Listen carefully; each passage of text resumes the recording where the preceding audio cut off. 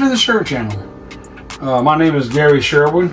Of course, my wife Marta Sherwood is uh, videoing this, and what we're going to do today is we already did the part of bottling the wine. Now I'm going to show you from the beginning uh, what I do, how I make the wine from the beginning. This is called a uh, uh, wine making ingredient kit. You can order this on eBay. I order different flavors. The last flavor I did was a blackberry uh, Merlot, which is very, very good.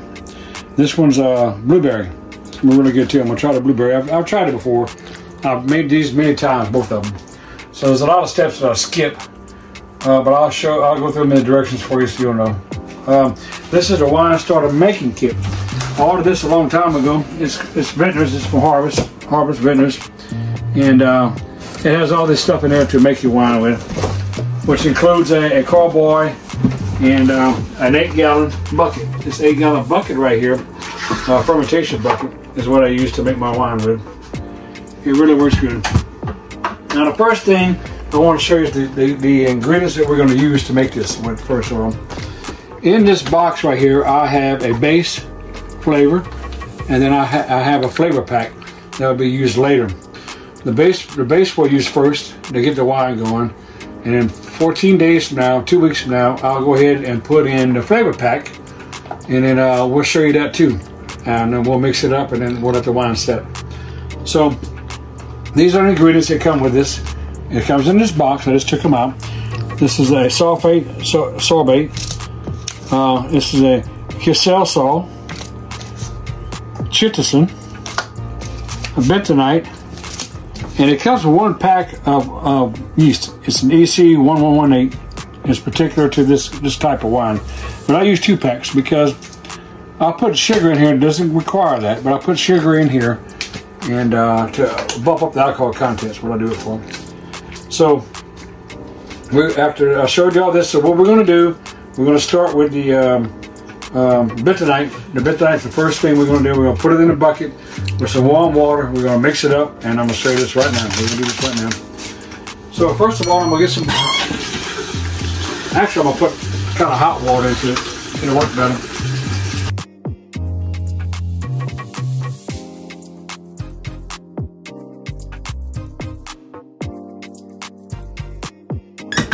All right, so I got about a gallon of water in here. And then what I'm gonna do is I'm gonna put the bentonite in there. I'm not gonna mix it all up at one time. I'll mix it up a little bit at a time. And my wife's gonna video this as I do it. Okay. I like to lean it over a little bit like this. Kind of lean it. I'll show you. Like this. I'll dump a little bit of it in there. Now I'll mix it. I'll agitate it, mix it up. Now it doesn't have to be all dissolved. It's natural to have a little bit of it still sticking to the sides, and uh, but it works really good.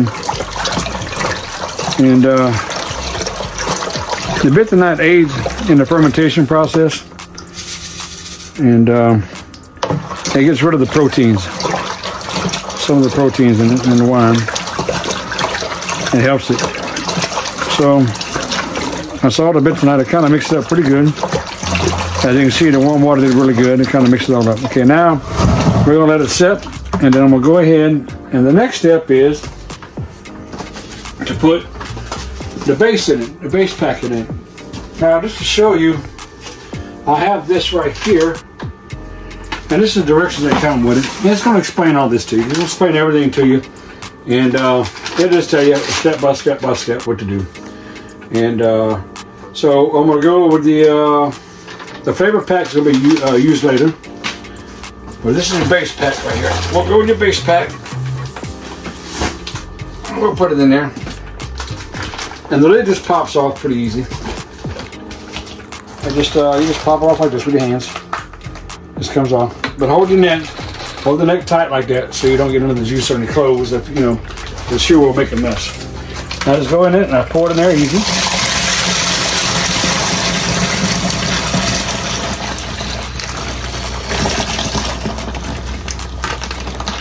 And now I'm gonna add some water to it to get all the residue out.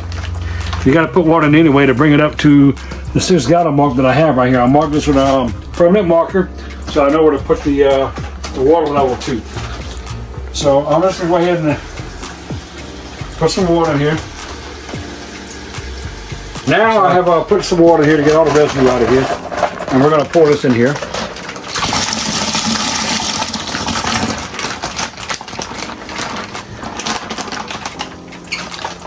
And normally, you would go ahead and uh, um, fill it all the way up to where you need to have it at. Um, add yeast to it and close it off. But I add sugar to it, so I do I use a different process. This is, not what the instructions say to do. I do this to up the uh, alcohol content because some of the people that I give it to, I never sell the wine, just give it to anybody who wants it. It's just a hobby. And they, they want a little bit more alcohol content. Usually, they get about nine and a half 10% alcohol content with this type of wine. If you order a white Zinfandel out on Michigan, gives up to almost 17%. This depends on what type you get. So I'm opening up this right here. This is the sugar. And then what I'll do with it, I'll take this. It's like a little, I sterilize. Everything has to be sterilized. Before you do all this, make sure you got everything sterilized. And and I sterilize it with a metabisulfite. And uh, it tells you on here I'll explain it to you. Now I have to put my glasses on because uh, it's hard for me to read these small words, but just to let you know, it explains everything to you, and they'll tell you right here. They have it in English and they have it, uh, uh, I think it's uh, Spanish, I'm not sure. But anyway, it tells you right here, um, uh, bentonite helps the yeast activity removes the proteins, which it does. We already talked about that already. Um, the uh, hydrometer, which we're going to use uh, later on, is used to check the specific gravity of the wine.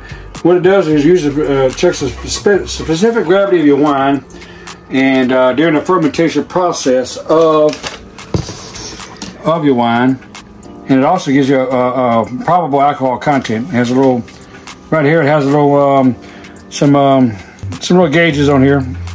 It tells you what it is, and you can read it. Uh, it's not that hard to understand. Anyway we're going to do this now.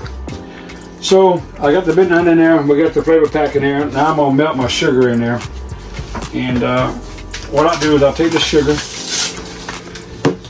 and I put a bunch in here. And then I put I the water pretty warm. I put the warm water in there.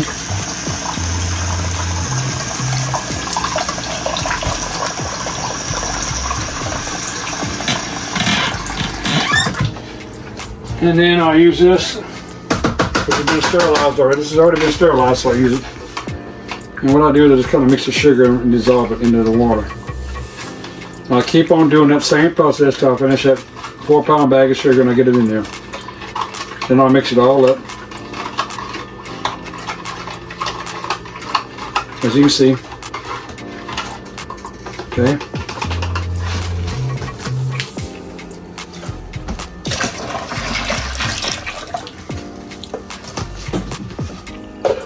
And I'm going to put some more sugar in here.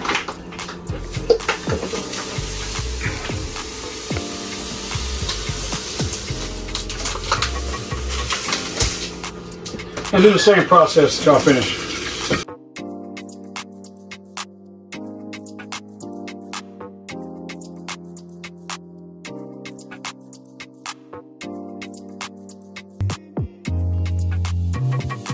Yeah, I mean, you're gonna have to add water anyway to get it up to my six gallon mark right here. That little uh, black mark we have. Now, I'm gonna put this back in there and I'm gonna stir this up.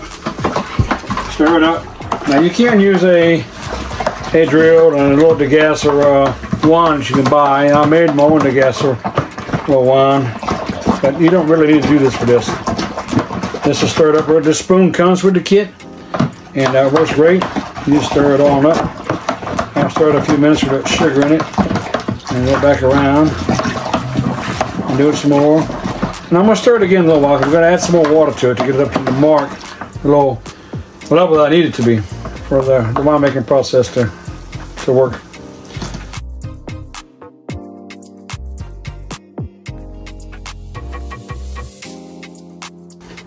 As you can see, we have filled it up to the mark even though it's a little bit higher than the mark, it's not a big deal because sometimes I put it a little bit higher than the mark because it'll evaporate a little bit. but um, I use two bags of yeast right here. And I'm fixing to open this one up. And just sprinkle it on top. You don't have to stir it. Don't stir it. Just put the yeast on top and let it go. Bag of yeast in here. And I fix to sprinkle to the next one. As you can see, just sprinkle it around here. Like I said, I put two bags of yeast, two um, packets of yeast, packets of yeast, because um, I added the sugar to it. And I wanted to uh, go ahead and ferment all the sugar, break it down to alcohol. So now what we're going to do, and we'll put the top on. I've already sterilized everything. Um, we'll put the top on it, and then I'll put this twin bubble airlock, twin bubble airlock, and I'll put some vodka into it about right here, about midways, halfway. Vodka from here to here, and it, what it does, it keeps it sterilized. It'll burn from the yeast, and then uh, the vodka will keep it clean, sterilized. So that's what we're fixing to do right now. And I'll put the vodka in it. We'll be done. I'll appreciate it.